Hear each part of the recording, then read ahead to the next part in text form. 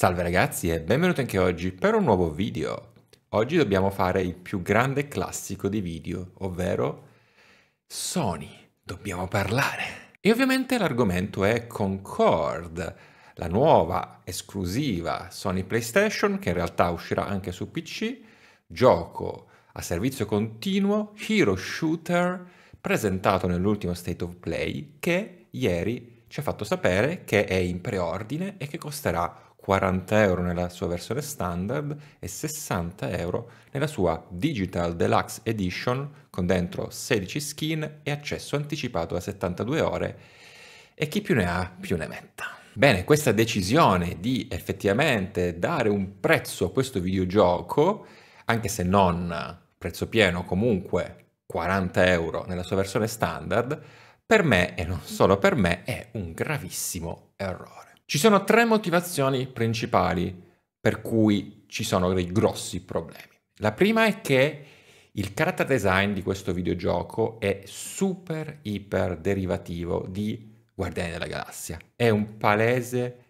scopiazzamento, scimmiottamento di quel character design. Sembra quasi che abbiano preso i personaggi di Guardiani della Galassia, li abbiano dati in pasto un'intelligenza artificiale con la scritta rifammeli in modo un po' diverso e fico. La seconda problematica, che forse è una delle più importanti insieme alla terza, è che questo gioco come tipologia, quindi hero shooter alla Overwatch o comunque simil arena hero shooter, anche perché gameplay di cui sicuramente adesso andremo un po' a esplorare un po' meglio, non se ne sa tantissimo ma è cruciale, Ecco, comunque un hero shooter nel 2024 è fuori tempo massimo.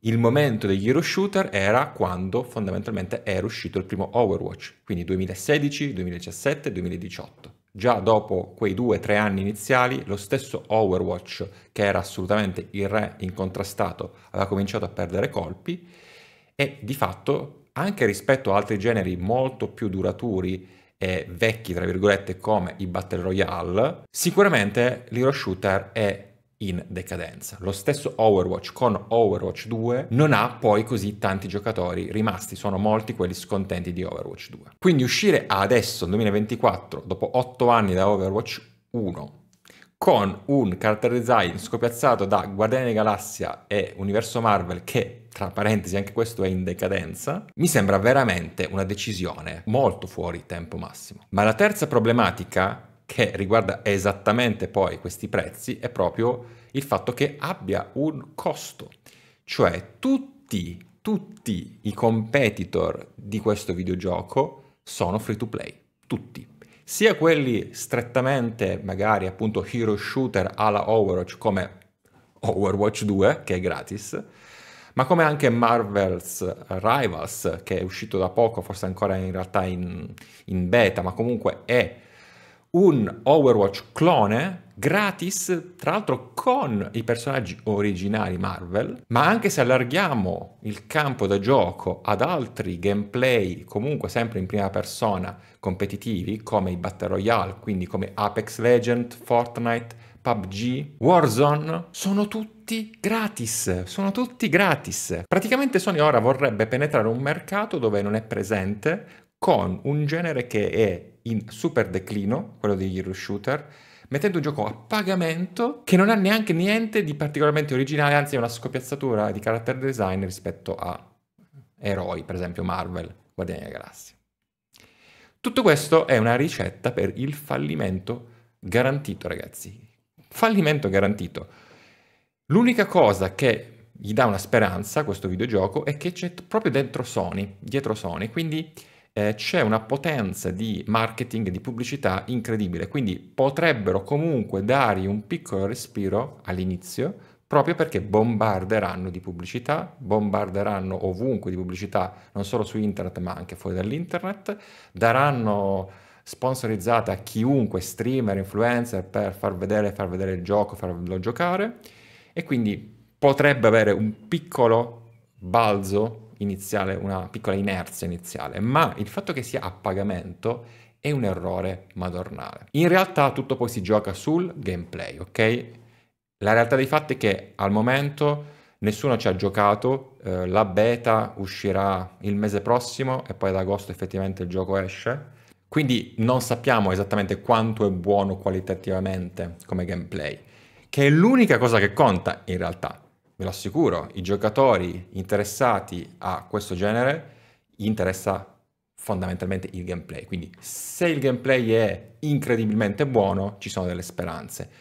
Ma anche fosse, io ragazzi ve lo dico, anche fosse il miglior gioco mai fatto, concepito a livello di feeling, shooting, mechanic, tutto quello che volete, cosa, cosa di incredibile, il top class assoluto, anche fosse così, questo price tag da 40 euro è una stupidaggine incredibile. Perché se hai un gioco così valido dal punto di vista del gameplay, tu vuoi farlo free to play, vuoi che sia super accessibile a tutti, perché ragazzi è un mercato iper mega saturo quello dei shooter competitivi, sono tutti gratuiti, sono tutti con community gigantesche, non c'è più spazio.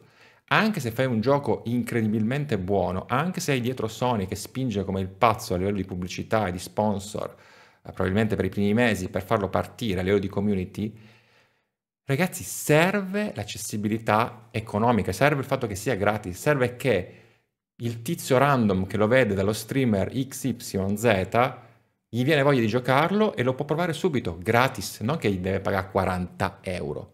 È una barriera d'ingresso stupidissima da mettere. E questo cosa denota, ragazzi? Ovviamente denota che loro vogliono fare i soldi velocemente e poi magari non gli interessa in realtà questo servizio continuo. Quindi incassare magari il suo pubblico più affezionato o quelli più impressionabili all'inizio, raccogliere questi 40 euro o 60 euro da più persone possibile e poi si vede.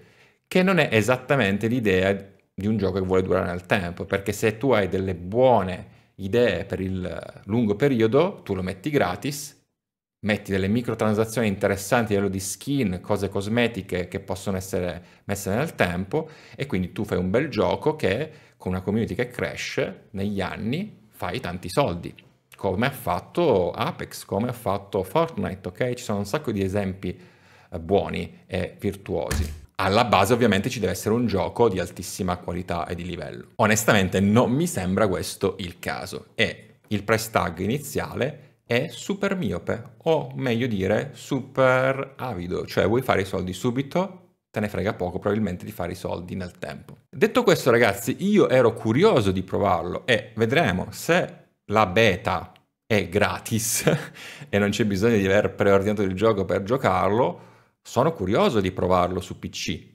A me piacciono questi giochi, io ne ho giocati tantissimi, ho centinaia di ore su Overwatch, il primo, 2016, i vari Battle Royale quando erano usciti, PUBG, ho giocato anche in alfa, insomma ne ho giocati un sacco, un, insomma, uno storico importante di eh, diciamo così, FPS competitivi giocati soprattutto tra il 2010 e il 2020. Quindi mi interessa teoricamente vedere com'è ma col cazzo che gli darò mai 40 euro. Anche se fosse il gioco di Cristo, improbabile che gli darò mai 40 euro per giocarlo. Anche perché poi tutto dipende dalla community. Se non si crea una community, poi il gioco muore. D'altronde è un gioco eh, che si gioca in multiplayer, quindi se non ci sono i giocatori che ci giocano, il gioco è morto. Quindi secondo me, insomma, 40 euro per questo videogioco è un grandissimo errore o comunque un segno di molta, molta abilità. Cioè fare soldi subito e poi sti cazzi. Questi sono i miei due centesimi, fatemi sapere un po' cosa ne pensate sotto nei commenti, che ne discutiamo. Noi comunque ci becchiamo prossimamente per altri video qua, sempre sul gaming. Grazie per l'attenzione, statemi sempre bene e alla prossima. Ciao ciao.